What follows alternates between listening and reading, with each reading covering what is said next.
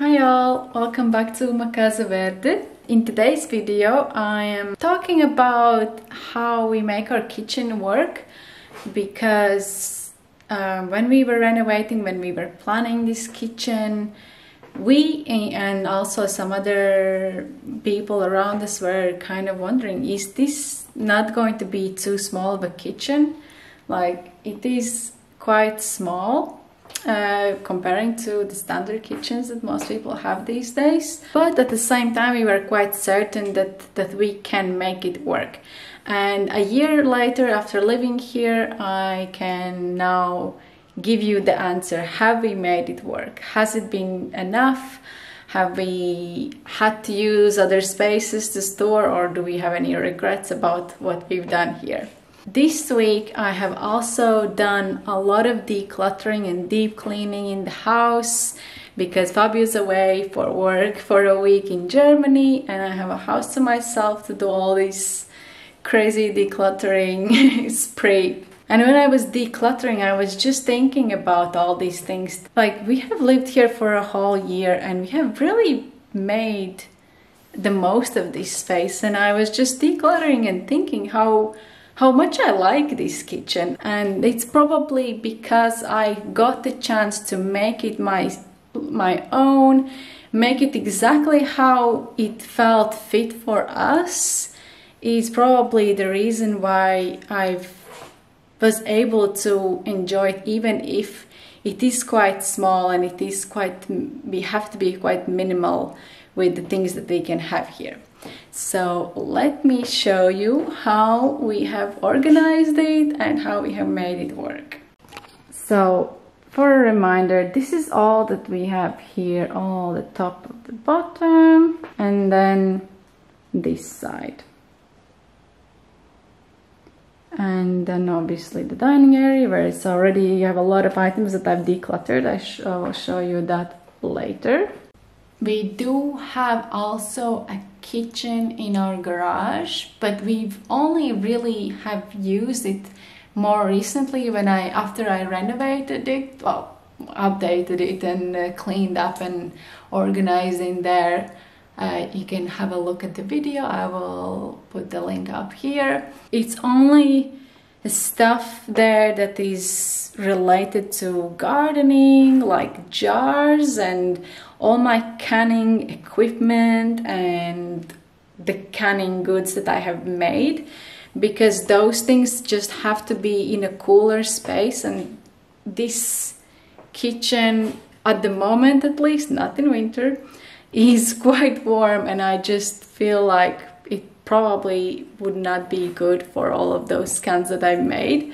Uh, we also have another fridge there but that again is because we have a garden and we have a lot of garden goods that need to be stored somewhere and because it's so hot a lot of stuff just can't be out, out of the fridge but other than that everything that we have everything that we use on a daily is here in this kitchen so I think one of the quite important uh, things in this kitchen is how we make it work with such a small space is of course being quite minimalistic with things you know like this is all the dishes that we have and there is literally no other cups or glasses or any special guest dishes anywhere else um, except we have some like obviously some uh, storage Tupperware boxes in drawer and some mixing bowls and things like that. And obviously like um, baking trays and pots and pans are also here. But as of dishes for eating that's all that we have. And I don't really think it's quite minimalistic to be fair. Because we have quite a lot of stuff here. Like look at the amount of cups we have and we have more glasses than these because some of them are in the dishwasher I mean, there's plenty to, to feed, to feed uh, at least a family of four, I would say. So one thing that I've been doing is, um, another people were thinking this is, because our ceiling is high, it's 2 meters 80 and those top shelves I cannot reach without stepping on a chair. Uh, and for that reason, I put things up there that I don't use on a daily basis. Maybe, but like also not like once a year. Okay, the blender I use only in summer. But like all of that shelf is up there is full of um, cooking baking trays for the oven baking I have like um, mincing machine meat grinder uh, that I use several times a month. Same with the baking trays. I use them several times a month but it's not every single week. And that's why I need those things in the kitchen but they also don't need to be anywhere around here. And uh, yeah I don't mind using a chair to just get those things every now and then then on this next level I have this is my pantry. Again something that people might find weird like how what do you mean? You don't have a pantry or you walk inside and there's like a nice hole or big cabinet for a pantry or something like that. We don't have space for that so this is all our pantry goods, all our dry food kind of thing. And um, this I have just kind of like organized it by the the way I use it mostly and by categories. And then I have like my pastas and rice and lentils and buckwheat and things like that over there. Um, this is a shelf that I can reach, so so the, so some of those things like pasta and rice I can reach and uh, without the chairs. So that's why they're like more at the front because I use them more often. Then at the top I have some extra stock of like flour uh, salt and some of the things that I don't use again like very often like cacao powder or, or things like that. Then I have all the kind of other dry goods like flour, other flour that I use more often, cereals, oats, seeds, all this kind of stuff. Then we have like bread, bread section and crisps usually. Now, now I have like my homemade granola here and my homemade cookies that I put there to not leave them on the counter. And then I have little shelves here that on the top is like some extra coffee, extra teas, just things that we really don't use at all almost. Then we have a whole shelf for our cookies and chocolates. And then we have a shelf that we use every single day and that's our tea and coffee. At the bottom here we have, this was kind of my place when I was putting this kitchen layout together in planner in the IKEA kitchen planner this is the kind this was the place that started worrying me when I realized that on this side we don't have almost any space to store anything because this is a dishwasher. Yeah. This is under sink shelves which stores like cleaning stuff and products like that.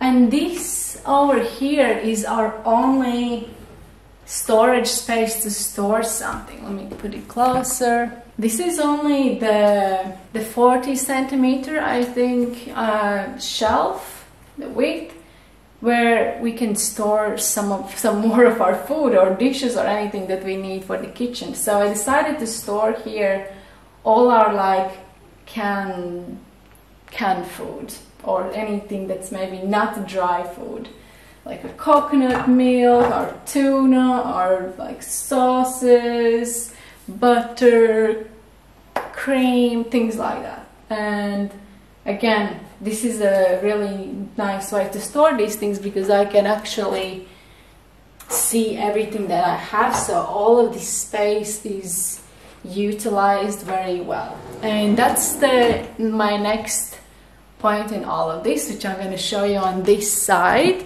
So one of the biggest, uh, probably best like ideas that I had in this kitchen was to to bring these four drawers in. These are not cabinets, these are drawers.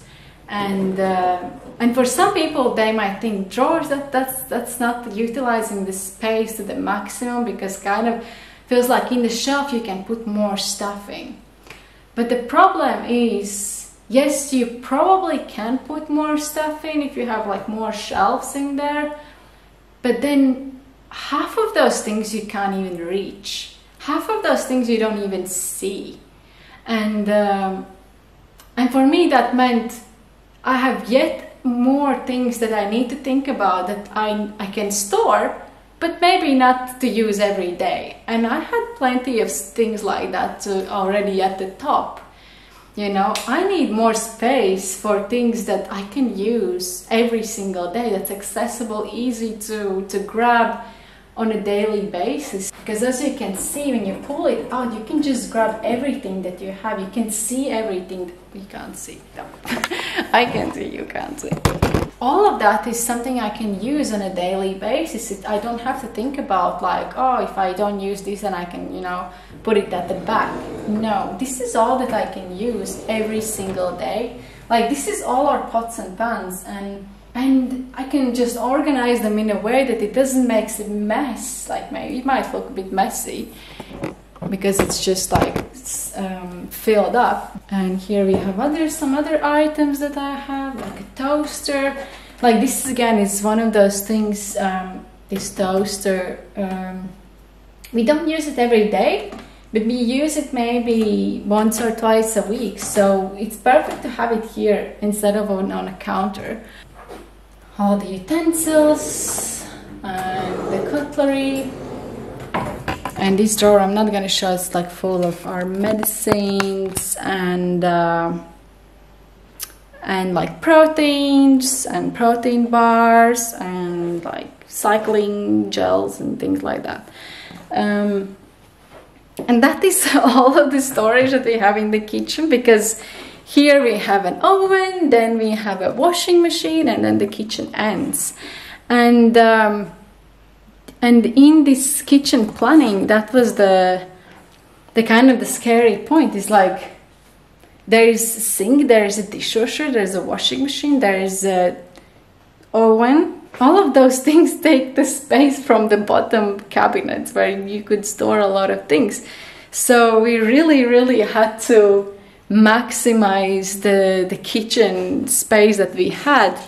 So in the end, I have like three main tips that I think that I have learned from having this smaller kitchen and living in in it for a year.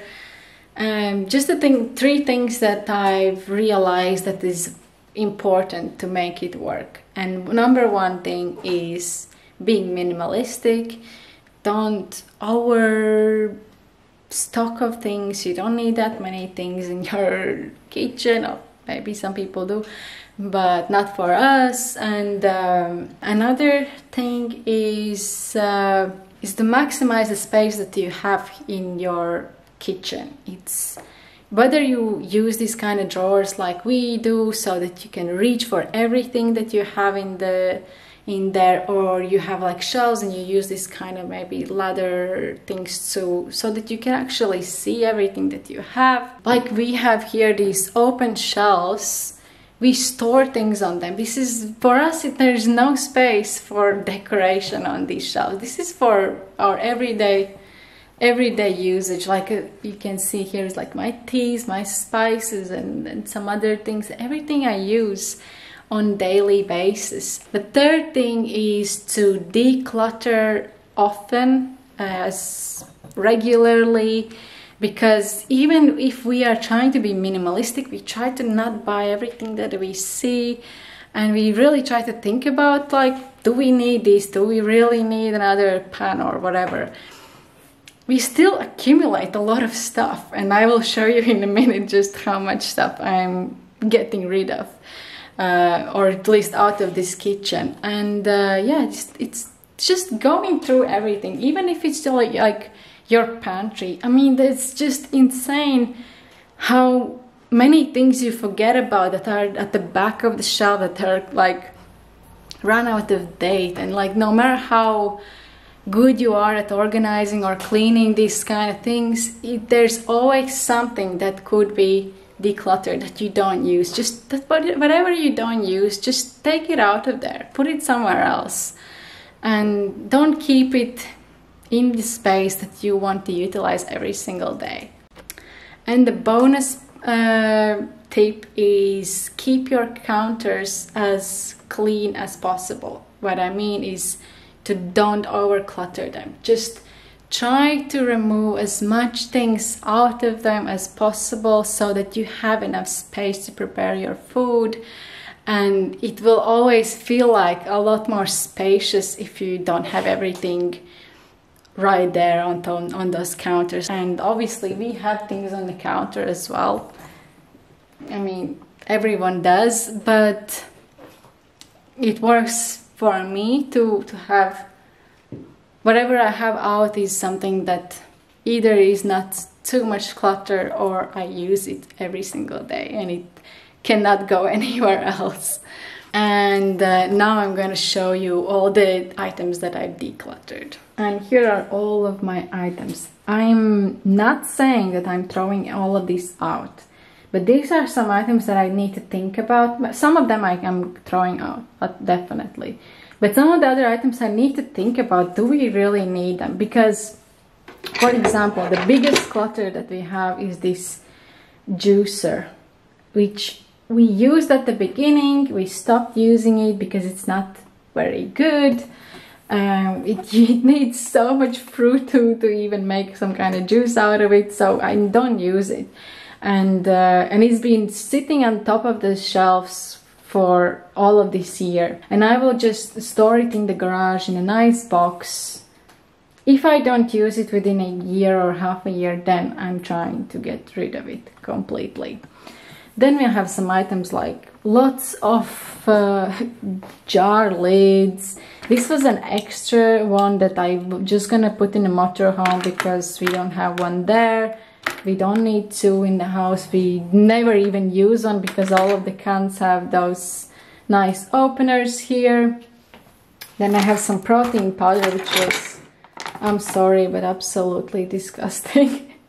and I used it once uh, or twice just to make sure and I think I'm just gonna have to throw it out because it's not good then we bought this pan for making eggs but unfortunately we didn't realize it doesn't work on our induction hob and I'm going to put it in a motorhome because we don't have any pans in there. So at least we can make an egg when we go for a trip. Then I have some lids and an old um, baking tray, which I'm gonna throw out because it's rusty. Uh, another pot, which was an, again an extra one that we barely made any use out of. I'm going to also put it in a motorhome because we don't have any pots there.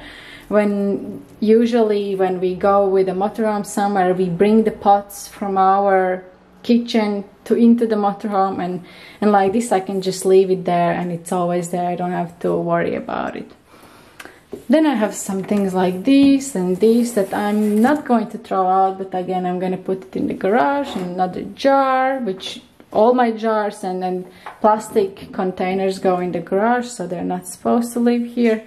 And this is a box full of medicine that we had for Kobe including some vitamins like this is this is a full box. I'm not gonna show the contents but i still need to think about what do we do with this.